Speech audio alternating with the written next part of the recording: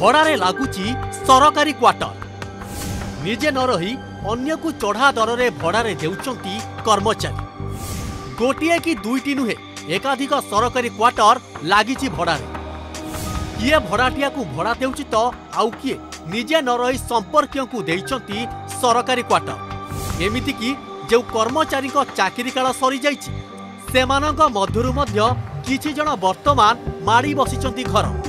ଏବେ ନୁହେଁ ବର୍ଷ ବର୍ଷ ଧରି ଭଡ଼ାରେ ଲାଗିଛି ବ୍ରହ୍ମପୁର ଏମ୍କେସିଜି ମେଡିକାଲ କର୍ମଚାରୀଙ୍କର ସରକାରୀ କ୍ୱାର୍ଟର ସରକାରୀ ଅଧିକାରୀ ପ୍ରଶାସନିକ ଅଧିକାରୀଙ୍କ ନାକ ତଳେ ସରକାରୀ ସମ୍ପତ୍ତିର ଅପବ୍ୟବହାର ଏଠାରେ ପଞ୍ଚାନବେଟି କ୍ୱାର୍ଟର ରହିଥିବା ବେଳେ ଅଧିକାଂଶ ଘର ଭଡ଼ାରେ ଲାଗିଛି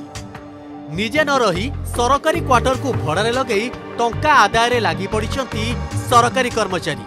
ସବୁଠାରୁ ଗୁରୁତ୍ୱପୂର୍ଣ୍ଣ କଥା ହେଉଛି ଅର୍ଗସ୍ ହାତରେ ଲାଗିଥିବା ଏହି ଚିଠା ହିଁ ବୟାନ କରୁଛି ସବୁ ସତ କ'ଣ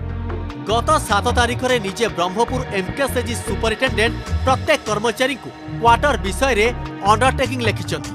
ଆଉ ସାତ ଦିନ ଭିତରେ ରିପୋର୍ଟ ମଧ୍ୟ ମାଗିଛନ୍ତି କିନ୍ତୁ କିଛି କର୍ମଚାରୀ ରିପୋର୍ଟ ଦେଇଥିବା ବେଳେ ବହୁ କର୍ମଚାରୀ ବର୍ତ୍ତମାନ ମଧ୍ୟ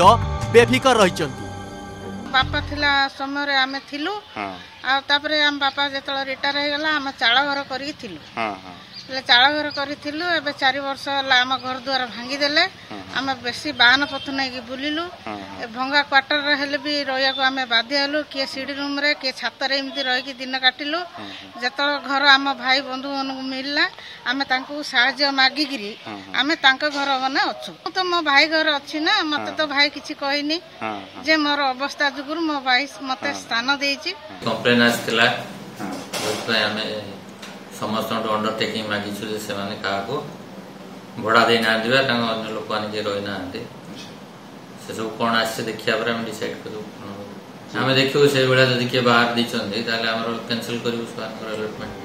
ପ୍ରଶ୍ନ ଉଠୁଛି ସରକାରୀ ସମ୍ପତ୍ତିକୁ ବର୍ଷ ବର୍ଷ ଧରି କେମିତି ଅପବ୍ୟବହାର କରାଯାଉଛି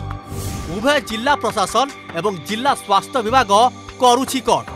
ନା ସବୁ ଜାଣି ଚୁପ୍ ଏସବୁକୁ ନେଇ ଯଦି ସରକାରଙ୍କ ଦ୍ୱାରା ଧରପଗଡ଼ କରାଯାଏ ତେବେ ସରକାରୀ ଅଧିକାରୀଙ୍କ କ୍ୱାର୍ଟର ମୁହଁ ଦୁର୍ନୀତି ପଦାକୁ ନିଶ୍ଚିତ ଆସିବ ଅନ୍ୟପଟେ ଏସବୁକୁ ନେଇ ଆଗକୁ ଆନ୍ଦୋଳନ ସହ ଆଇନ ଆଶ୍ରୟ ନେବାକୁ ଚେତାବନୀ ଦେଲେଣି ସହରର ବିଭିନ୍ନ ସଂଗଠନ ସରକାର ସମ୍ପତ୍ତି ସରକାରୀ କର୍ମଚାରୀ ସରକାର ଦେଇଛନ୍ତି କ୍ୱାର୍ଟର କିନ୍ତୁ କ୍ୱାର୍ଟରରେ ସରକାର କର୍ମଚାରୀ ହେଉନାହାନ୍ତି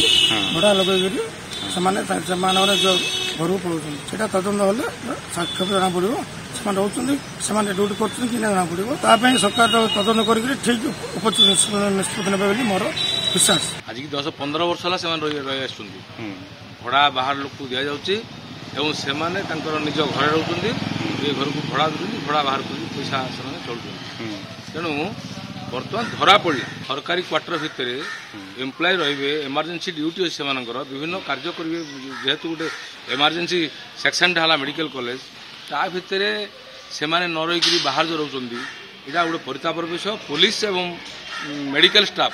ତାଙ୍କୁ যেটি কোয়ার্টার দিয়েছি ରହିବେ অধরাত্রি ଯେମିତି পুলিশ ଡାକିଲେ ସେମାନେ যাবে বিভিন্ন ଜାଗାକୁ ସେମିତି অধরাত্রি যদি କାହାର କ'ଣ ହେଲା ବୋଲେ ମେଡିକାଲ ଷ୍ଟାଫ୍ ମଧ୍ୟ ଯିବା କଥା ଉପରସ୍ଥ ଅଫିସରମାନେ ଜାଣିଛନ୍ତି ସେମାନେ ଭଡ଼ା ଦେଉଛନ୍ତି ବା ଇଏ କରୁଛନ୍ତି ଜାଣିଛନ୍ତି ସେମାନେ ଜାଣିକି ସବୁ ଚାଲିଛି ମିଡ଼ିଆ ଭିତରେ ଯଦି ଏଇଟା ପ୍ରବେଶ କଲାଣି ନିଶ୍ଚିତ ଭାବେ ଅନ୍ୟାନ୍ୟ ସଂଗଠନ ସକ୍ରିୟ ହେବେ ଏବଂ ଏହାର ଦୃଢ଼ ବିରୋଧ କରିବେ ତେବେ ଆଗକୁ ଏ ଦିଗରେ ମେଡିକାଲ ପକ୍ଷରୁ କ'ଣ ନିଷ୍ପତ୍ତି ନିଆଯାଉଛି ନା ବର୍ଷ ବର୍ଷ ଧରି ସରକାରୀ କ୍ୱାର୍ଟର ଦଲାଲଙ୍କ କବ୍ଜାରେ ରହୁଛି ତାହା ଦେଖିବାକୁ ବାକି ରହିଲା ବ୍ରହ୍ମପୁରରୁ କ୍ୟାମେରା ପର୍ସନ ଶୁଭେନ୍ଦୁଙ୍କ ସହ ପିତାମ୍ବର ନାହକଙ୍କ ରିପୋର୍ଟ ଅର୍ଗସ୍ ନ୍ୟୁଜ୍